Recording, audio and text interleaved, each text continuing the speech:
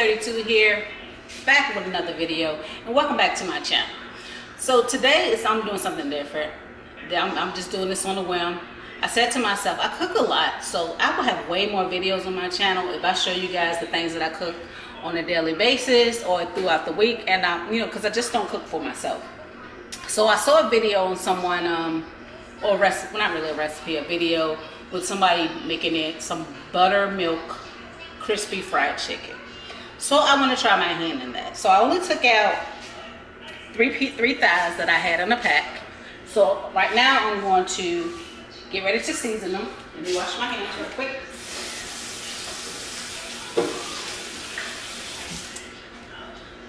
Okay. And then with my chicken seasonings, it's, it's really much, it's really the same basically. Sometimes I use cayenne pepper, sometimes I don't, depending on who's, who's gonna eat it. So right now, I'm gonna start out with some Season-All. That's one of my staple seasonings that I use a lot.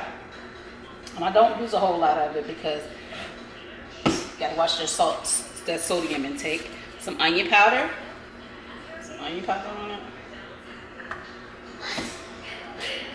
Some garlic powder. some pepper. My label fell off just now. Just open this. Normally I use paprika as well, but with this, the butter the buttermilk is gonna make the chicken, you know, crispy and dark as well. So I don't want to make it too dark. So I have a little parsley here that I'm just gonna add into the mix. Just throw something in there. Again, and wash my hands again because I just turned that chicken. Okay. Again, you guys, when you're working with raw meat, make sure you wash your hands in between when you're touching things and all of that. Make sure you wash your hands because you do not want to contaminate things, your, your cabinet, countertop, your cabinets. Again, I'm just going to season the other side, same thing. Season all, garlic powder, onion powder. Again, you can season it with whatever you want, you guys. Some people I know just use salt and pepper, if that's what you like, you know, on the chicken. But I, I like flavor and I like taste, you know. I already, and before I, I season these, you guys, I did brine this chicken um, for a little, maybe a few hours in some uh, water and salt. That helps with the, the process of making the chicken juicy. So I'm just gonna press this down, make sure that seasoning gets all on this. Now what I'm about to do next is gonna be a little bit redundant on what and seasoning before. I'm about to dip it in this buttermilk milk. Now you know the seasoning is gonna come off, but that's okay. The good thing about it is you still season your flour. That keeps all those um, seasonings and stuff together and it's still within that buttermilk because I'm gonna let it soak in the buttermilk for probably about 30 minutes to an hour in the refrigerator before I start to cook. So again, let me wash my hands.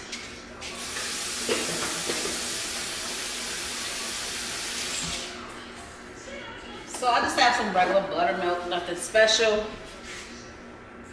This is actually low fat buttermilk. All right, you guys, so I got a big enough bowl. So I hope you guys can see me through this. I'm gonna go ahead and pour the buttermilk in here. And just pour just enough so it'll submerge over the chicken. Now I'm gonna try to squeeze all these at the bottom again.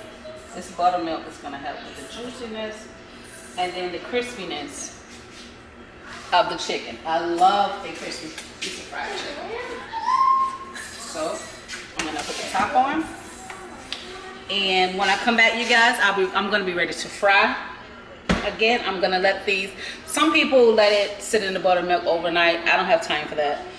Um, I'm at least give it 30 minutes to an hour before I start frying it. And then I'll come back and show you guys what it looks like.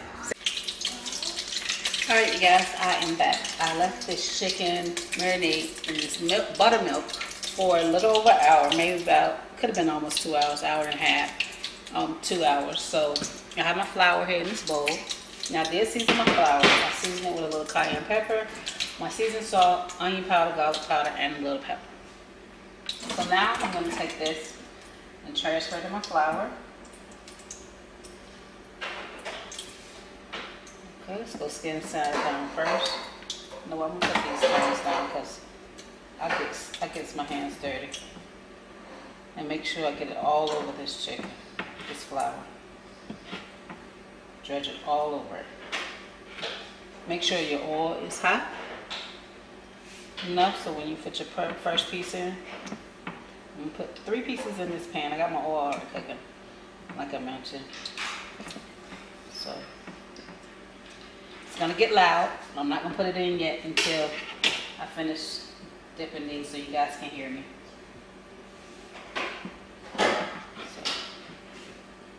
So, dip all that. smells good though.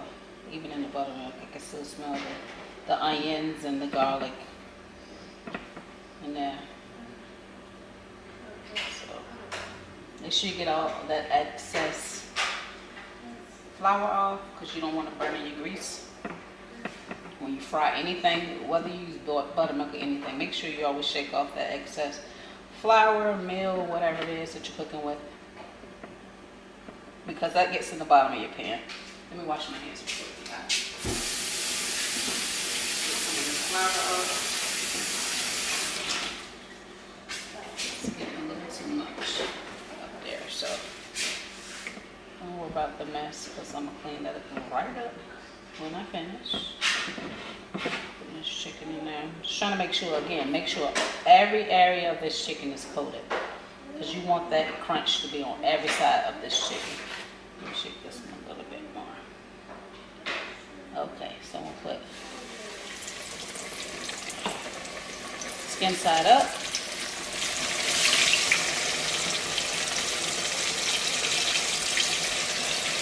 And there we go.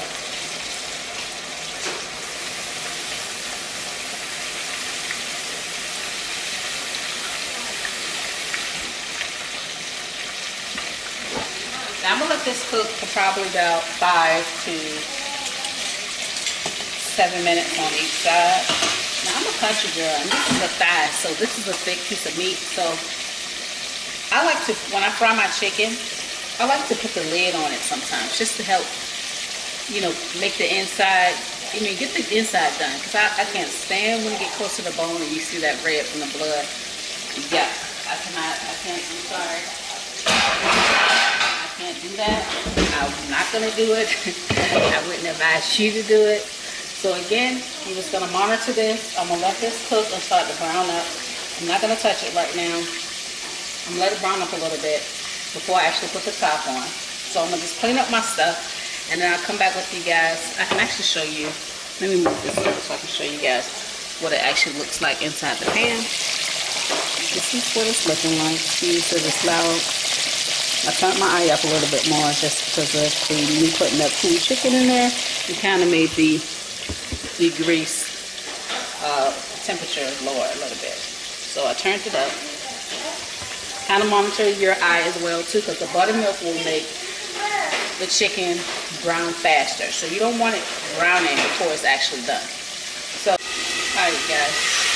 I kind of put the top on it a little bit. I left it for minute.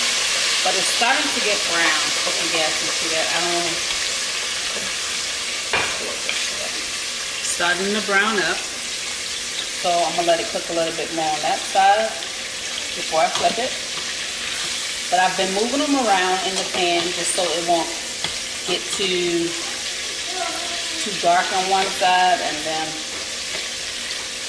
it's not like, you know, I'm saying. So I just I just flipped the chicken you guys. So I'm gonna put the lid on halfway like that and let it to let it continue to cook. Alright you guys, I am back. I am about to plate this so you guys can see this chicken. It looks so yummy. Look at this. I, I'm, I'm, look, the, the crust is coming off with me. Yeah.